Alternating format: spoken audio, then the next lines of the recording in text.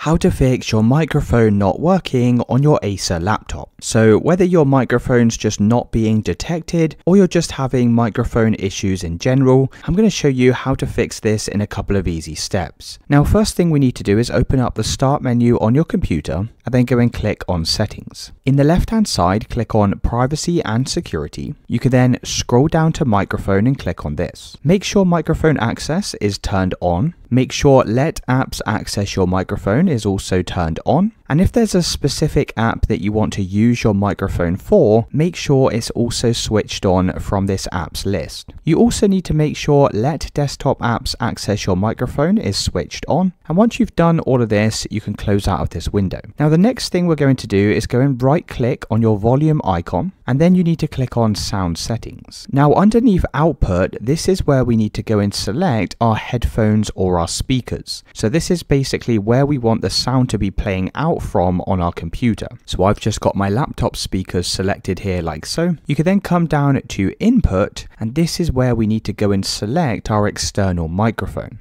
Now, if your microphone's not showing up in this list, you can always click on the add device button and you can try going through the steps here to actually connect your microphone. Now once you have your microphone selected, make sure the volume's turned up like so, and then we need to scroll down and click on more sound settings. Click on recording in the top navigation, and from here make sure you have your microphone enabled. So if you see your microphone from this list, we can right click on it, and then click on enable to make sure it's enabled on your device. You also want to make sure it's set to the default device and you can do that by clicking on your microphone and you can click this set default button down here. Now finally, we're just going to right click on the microphone and click properties, click on levels, make sure the volume slider is turned up like so. You can then click on advanced, click on the drop down arrow next to format and go and set this to the highest number of hertz possible. Make sure allow applications to take exclusive control of this device is switched on. And also I'd recommend turning off the audio enhancements. Once you've done that, press apply and OK. And now your microphone should be working on your HP laptop. Let me know in the comments if you found this video helpful.